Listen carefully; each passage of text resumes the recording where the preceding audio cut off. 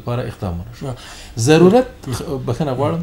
خاصتا د نظامی تاسیسات لپاره ګوره تاسو برق را واردوي خو تاسو اردو ته ورکوي پولیس ته ورکوي او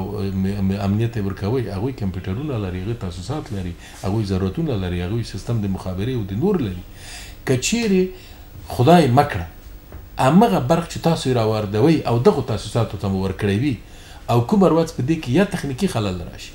او یا هم په اصطلاح هغه مملکت چې ته برق پرې راودروي ورسره د مناسبات په یو شکل د اشکال وړه شي او هغه د بانه راواخلي چې نرخ زیاتوم را سره در سره مذاکرات کوم او دا در باندې یو هفته قطع کی په دغه سه هواد کې لکه افغانستان نو د دې حالت به څنګه بالکل ا شخصي سکتور خو پرې دغه ته خو به بانه وکي هغه به تولید هغه به هم تولید به کم شي کورنۍ ته به وایي چې خیر دی برق نشته یو څو ورځې صبر وکړي بناء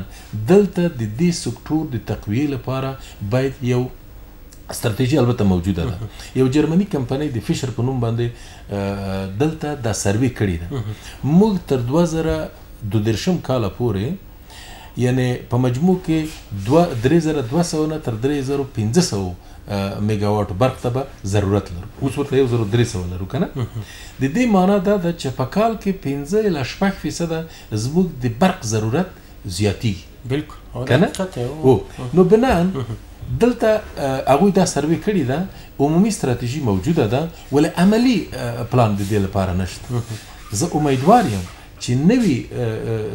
نوی وزیر د دې انرژي برق د دې سکتور د تقویې لپاره د دې سکتور د رشد لپاره عملی ګامونه پورته کړي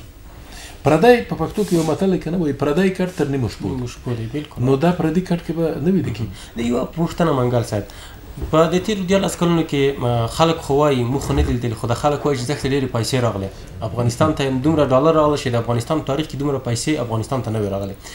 اوس پښتنه دلته ده مثال زه درته وایم زمونږ اوبه چې دي افغانستان په بره دی اوبه ترې ای خواته دی خواته ټول ته ترې روانې دي په ډېر خوشنۍ سره مونږ ډېر دښتې لرو چې اوس هم وچې دي دښتې لرو چې وچې دي که چیرې اوس پوښتنه زما دا ده په دغه ټیرو دیارلس کلونو کې که د اوبو برښنو برښنا وزارت دومره پیسې یعنی یعنی د خپل بودجه نیمایي کړې وای هغه نیمایي چې ډېر لګښت پر راځي یعنی خلک شوای چې بند جوړي يو بند يې د کونړ په سيند جوړ کړی وای يا يې د نورو سيندونه چې د کابل دي يا د کابل په سيند يو بند جوړ کړی وای زموږ هغه دښتې به هم خړوبې شوې وای لکه څنګه چې تاسو مخکې ویل زراعت مو هم پرمختګ کړی وای او برېښنا به مو پیدا کړې وای یعنی په دو دیارلس کلونو کې حکومت دومره وړتیا نه درلودله چې یو بند جوړ کړي یعنی پیسې دومره نه وې ورسره که یې ناغېړي وکړله نه نه نیت نه و تصمیم نه وو. ګورئ ما مخکې عرض درته وکړ چې د طالبانو د حکومت د نرسکودو سره سم د دولت وزارتونه، ادارې، ولایتونه دا په یو عایداتي منبع باندې تبدیل شو. دا د د کار لپاره نه، هغه مامورین، هغه څوک چې هلته ناست وو، هغوی د دې لپاره نه وو ناست چې او ملت ته د کار وکړي، انکشاف د ورکړي، رشد ورکړي. هغوی فقط دغه مقام، دا چوکۍ د ځان د پیسو د پیدا کولو لپاره فقط کاروله او بس که دا خبره نه وای نو خو دلته خو به تبدیل هغه نتایج به موږ تاسو نیولې وای متاسفانه نو د دې د دې هغه معنا نتیجه دغه شو چې موږ نه تنها په دغه د هغه په سکتور کې د د د د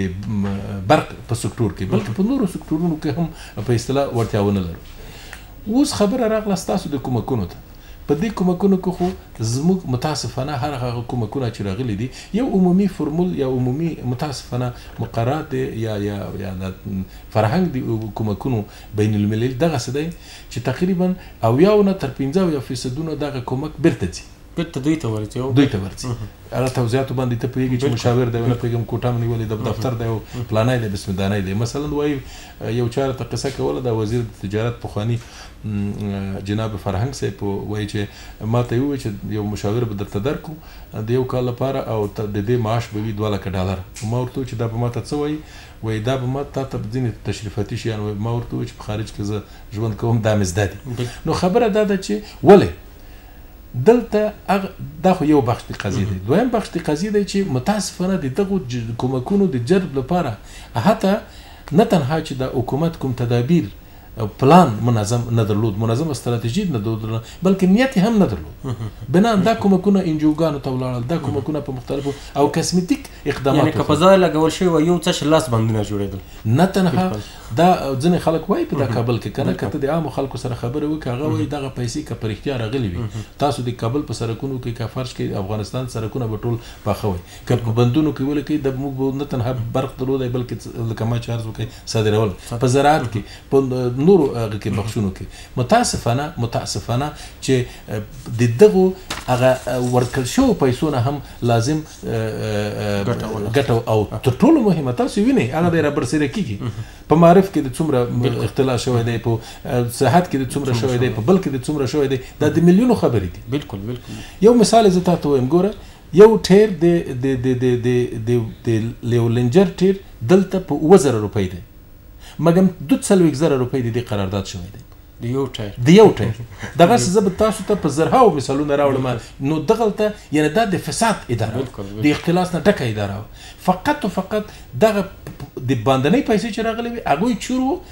او داخل دې نه چې څه پیدا کېدل د هغو چور ډېر مننه کوم منګل صاحب اوس به یو لنډه دمه واخلو قدرمن لیدونکو تر دمې وروسته به هم زموږ سره اوسئ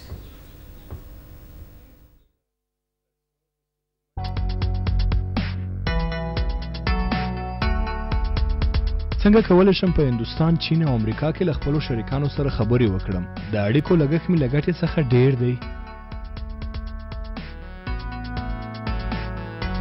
نړیوالې اړیکې د پنځو افغانیو په بدل کې نه پوهېږم چې لومړی په چین کې احمد ته ټلیفون وکړم او که په امریکا کې ماکس ته زه خیر ټولو ته په نوبت ټلیفون کوم مګر لومړی باید په هندوستان کې خپل پلار ته زنګ ووهم اوس تاسو کولای شئ چې د افغان ټیلیکام د مزل لرونکي یا ډیجی فون ټلیفون څخه په ګټه اخیستنې سره د نړۍ اتیا هیوادونو ته پرته له کوم اضافي فیس څخه یوازې د پنځو افغانیو په بدل کې خبرې وکړئ افغان ټیلیکام راځئ چې د یو نوي شي خبرې وکړو قدرمن لیدونکو بیا هم ښه راغلاست سلام سار مو نیکمرغه خپرونه د ملي ټلویزیون څخه ګوري منګل صاحب په نړۍ کې چې موږ شو تر کومه ځای مطالعه کړې ده لوی انقلابونه چې راغلي دي لوی جنگونه چې راغلي دي یعنی اقتص... یو جنبه اقتصاد دی د اقتصاد په په په د ضعیفتوب را مه رایاد که لوی امپراتورانو غوښتل چې اقتصاد یې پیاوړی شي نو په نړیواله سطح یې جنګونه رامنځته کړل چې اول جنګ جهاني یا دویم نړیوال جنګ اوس زما پوښتنه دا ده چې اقتصاد او سیاست څومره سره یو د بل سره اړیکه لري او په افغانستان کې دغه مسله تر کومه حده پورې روانه ده اقتصاد سیاست د اقتصاد زیږنده ده بالکل لکه تاسو چې وې په نړۍ کې سل کاله پخوا او اوس هم او وروسته به هم جنګ په اقتصادي ګټو باندې بالکل ول متاسفانه په افغانستان کې سیاست غواړي چې په اقتصاد باندې حاکم شي یعنی خلاف دی هغه فرمول دی کوم چې منل شوی منل شوی دلته موږ تر ټولو ستره مانع لکه ما مخکې چې عرض وکړئ دا وه چې د اقتصادي ودې لپاره نه جهاني ټولنې په دا تېرو څوارلسو دیارلسو کلونو کې او نه حکومت منظمه برنامه نه درلوده چې د خلکو د سطحې د ژوند د ارتقا مسئله پکې مطرح وي د نورو سکتورونو لکه ما او ته مخکې چې خبرې په وکړې دا سکتورونو کې اولولیتونه مطرح شي او د هغوی وده په اصطلاح په نظر کې ونیول شي او نه هم جهاني ټولنې جهاني ټولنې په انجیوګانو باندې اتکا وکړه افغانستان کې یو ډیر ښه قانون موجود دی چې کچیر دول پیسې د دولت وارداتي هغه ته ولاړ شي نو راایستل بیا ډیر هغه دي کنه مشکل دي مشکل دي دی خو لږ په مشکل وي لکه قرارداد به وکي مشکلات به را جوړ کی په یوه د دې چې نرخ مثلا یو لاس روپی وي هغه به څلويخت کی په دې شکل سره یې را ایستلای شي ولې داسې لکه انجوګانو ته یې چې ورکړې او هغه یې جیب نه سبا بانک نه راوباسي مصرف یې کړي دغه لږ هغه دی مشکل دی یعنې کنترول دی مالیه د وزارت مالیه او دا نورې خبرې مشکلات یې دي نو دا کمکونه متاسفانه د دولت له لارې ونه شو وروسته د پنځو شپږو کلونه دوی وویل چې څنګه موږ د دولت په دې پوه شو د دولت په دې پوه شو ځکه دوی خو اصلا دې باندې فکر یې نه و دوی خو راغله وای خو صیب دا د امریکا نه صیب بکسونه را راواخیستل چا څوک د کاناډا نه راغله څوک د امریکا نه راغله څوک د اروپا نه راغله او وای صیب دلته دغه پیسې دی ورازي تاسو وینئ لاړ شي صیب دا پغمان ته چې ولاړ شي وای دغه د وزیرانو کوڅه ده لاړ شي د شیرپور ته لاړ شي د نور ځای ته یعنی سړی باور وکړه په خارج کې شرمیږي په دې باندې چې وایي چې دا توضیحات د افغانستان د اقتصاد په برخه چې ورکوي او دلته د فساد مسایل را مطرح کیږي منګر صاحب یو پوښتنه کوم ګاونډیان زموږ ګاونډیان هیوادونه پاکستان ایران زموږ د اقتصاد د رغښت یا د اقتصاد د خوالي څومره مخنیوي کوي پاکستان دغه سی یو هیواد دی چې د خپل جوړښت نه را په دی خو تل د افغانستان د اقتصادي وده د مخنیوي په لار کې په افغانستان کې د بحران د ایجادولو په لار کې او په اقتصاد په افغانستان کې د جنگ د پيدا کولو او هغه ته دودو او د ترورستانو او د افراطي بنيادګرانو د رالېږلو په برخه کې اولين ځای لري. افغانستان، پاکستان به هېڅکله هم د افغانستان لپاره ښه نيت نه درلود، نه يې لري او آينده کې به يې ونه لري. او غواړي خپل بې کيفيته مواد په افغانانو باندې وپلوري. هو، ګوره د افغانستان د پاکستان تجارت سل ميليونه و دا د طالبانو په وخت کې، اوس خبره يې تر تر مليارده رسېدلې ده. هغوی دا وايي چې افغانستان کې بايد توليدات ونشي که کوم توليدي فابريکه هم جوړيږي دی به ددې خپلو جاسوسيو له لارې په زرهاوو پرابليمونه ورته جوړ کړي که نور يې نشي انتهر انتهاري به ورته راولي بند جوړيږي تجار چې اختطاف کيږي د پاکستان په کلاس دی دلته هره اقتصادي پروژه که د هر هيواد له خوا نه چې وي چې هغه رشد کوي پاکستان د هغه مانع ګرځي دا د کجې پي کي بنګ وګورئ مثال ډير ښه مثالونه دي کنه دغسې نور هغه وګورئ مثلا تجارتي د تجارانو سره مشکلات وګورئ په زرهاوو کانتینرونه د افغانستان د تجارانو په دغه تیرو دیرشو کلونو کې دا اوس هم مشکلات ورسره لري په پاکستان کې د منځه ولاړل او مواد یې له منځه لاړل د منځه ولاړل د هپتا تړون هغه شو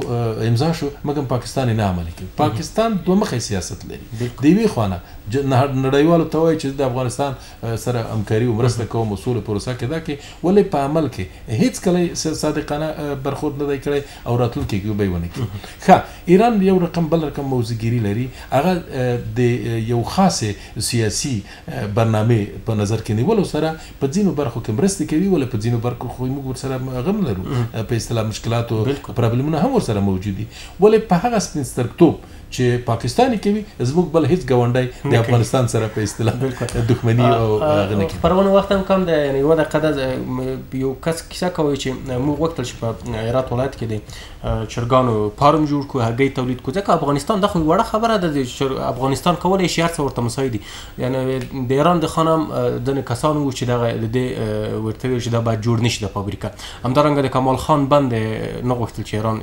هغه بند جوړ شي او په هغه د افغانستان لپاره ترنه خلک ګټه واخلي نو زموږ دواړه ګاونډیان هیوادونه نه غواړي چې زموږ اقتصاد په مخ لاړ شي ګوره په مجموع کې هیڅوک یعنی وای کنه وای مال خپل ساته او همسایه غل مې ساته موږ باید خپل اقتصاد ته توجه وکړو بالکل په سیاست کې هیڅ وخت دایمي دوست او دایمي دښمن نه وي موږ باید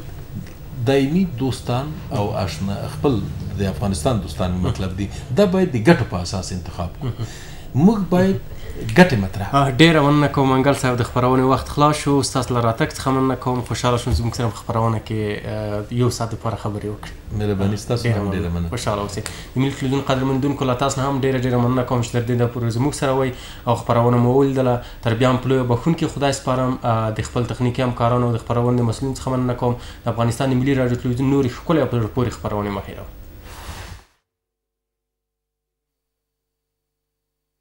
دا خپرونه د افغان تلکام شرکت په مرسته تاسو ته وړاندې شوه.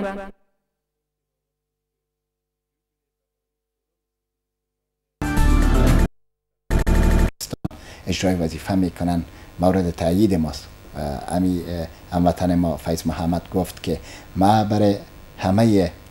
نیروهای امنیتی کشور کامیابی و موفقیت از خداوند آرزو میکنم یقین کامل دارم که کامیابی از آن نیروهای امنیتی افغان است فیض محمد خان از صحبت های خواهرک ما فاطمه جان که از ولایت ننگرهار تلفنی تماس گرفتن نیست تمجید کردن گفت احساس وطن دوستی در نهاد هر یک از افغانان عزیز ما به هر سن سال که باشه وجود داره گفت ما صحبت های فاطمه جان خواهرک خود نیست تایید میکنم خب دوستان عزیز تلفن عزیزانم میگیریم بیننده های محترمه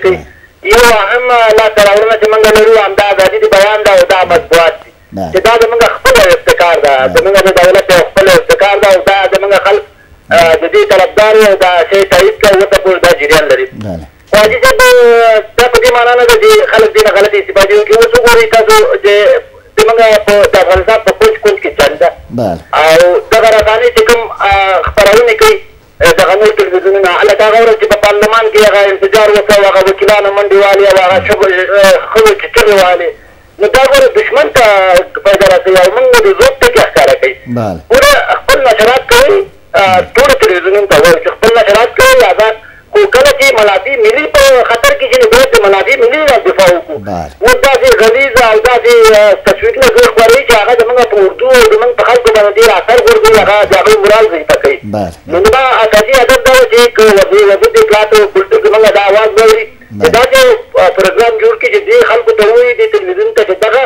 دغه تصویرونه مه خپروئ په عین جنګ کې دا موږ ته ډېر نقصان کوي حاجي صاحب زموږ په جنګ کې جریان لرو باید زموږ زړور تصویرونه خپاره شي چې کوم موږ بری په لاس راوړو چې زموږ اردو ته زموږ پولیس ته زموږ امنیت ته زړورتیا په لاس ورشي اوس اکثرا وکیلان دي که دا خبره ډېره ښه نه ده چې زه یې وکړم خو دوی چې دي حتما د نورو کړیو سره تړل شوي دي همېش زموږ اردو او پولیس ډېر ضعیفه دوی